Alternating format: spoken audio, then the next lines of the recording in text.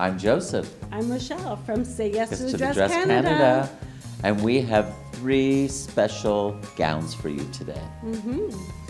We have the fit and flare We have the A-line.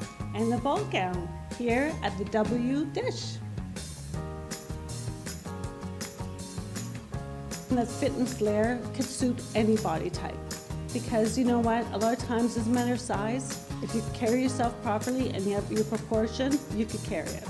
a wonderful piece. When you when you see the brides with it on, you go, "Oh my God!" They just their eyes just bulge out, and they're just overwhelmed because it it really does everything that they want to their body. Yeah.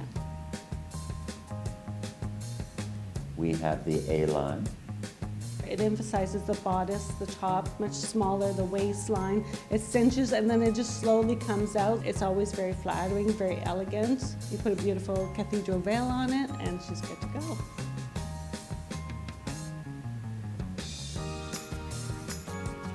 And the ball gown, it's the true Cinderella. So you're going to the ball. I mean, for me, it's fairy tale.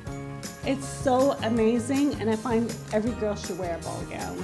Just one day. This is the time that you can wear a ball gown. You don't have to be sexy or anything, but it's the classic look and how you feel that day.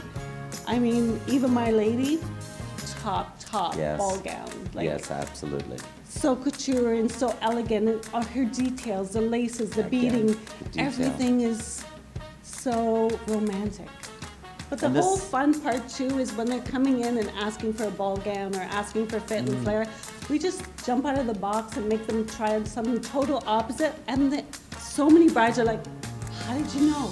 You know? We figured it out for them. That's right, and we'll give them the best. that's right